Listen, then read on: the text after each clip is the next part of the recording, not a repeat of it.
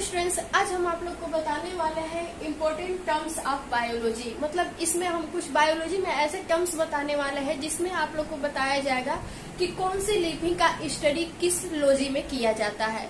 जैसे कि आप लोग को पता है बायो मतलब होता है लाइफ और लॉजी मतलब होता है स्टडी यानी अध्ययन। तो किसी भी हम लोग लिविंग का या फिर किसी भी लाइफ का हम लोग स्टडी करते हैं दैट इज़ कॉल्ड बायोलॉजी तो देखिए, सबसे फ़र्स्ट आप लोग का है एनाटॉमी एनाटॉमी जो होता है एनाटॉमी में हम लोग किसका स्टडी करते हैं? तो study of internal structure of organism मतलब किसी भी ऑर्गेनिज्म के बॉडी के हम लोग इंटरनल स्ट्रक्चर का क्या करते हैं? स्टडी करते हैं।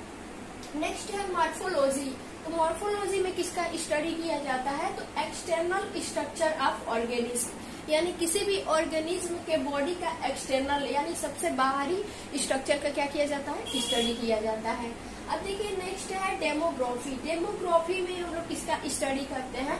तो स्टडी ऑफ़ पॉपुलेशन मतलब जनसंख्या का जिसमें अध्ययन किया जाता है डेट इज़ का डेमोग्राफी नेक्स्ट है डर्मेटोलॉजी डर्मेटोलॉजी में हम लोग किसका स्टडी करते हैं? तो स्टडी ऑफ़ स्किन मतलब जो त्वचा का अध्ययन किया जाता है डेट इज़ का डर्मेटोलॉजी नेक्स्ट है एग्रोस्टोलॉजी एग्रोस्टोलॉजी में हम लोग किसका स्टडी करते हैं? तो स्टडी ऑफ़ ग्रास जितने भी ग्रास होते हैं, उसका हम लोग स्टडी किसमें करते हैं?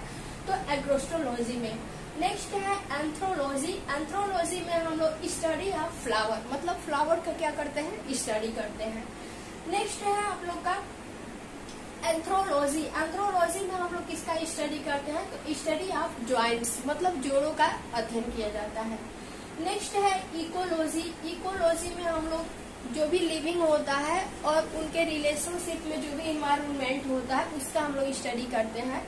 तो बोल सकते हैं हम लोग study of internal relationship of living and their environment मतलब किसी भी लिविंग के और उनके इन्वायरमेंट के बीच हम लोग जो भी स्टडी करते हैं that is called ecology next है कैलोलॉजी तो कैलोलॉजी में हम लोग ब्यूटी का स्टडी करते हैं। तो उसका होता है स्टडी ऑफ़ ह्यूमन ब्यूटी मतलब किसी भी ह्यूमन के ब्यूटी का स्टडी करते हैं that is called caliology next है हिमेटोलॉजी तो हिमेटोलॉजी में हम लोग ब्लड का स्टडी करते हैं. तो बोल सकते हैं study of blood that is called haematology next है ऑन्कोलॉजी तो ऑन्कोलॉजी में हम लोग कैंसर या फिर कैंसर से रिलेटेड ट्यूमर डिसीज होते हैं, उसका स्टडी करते हैं.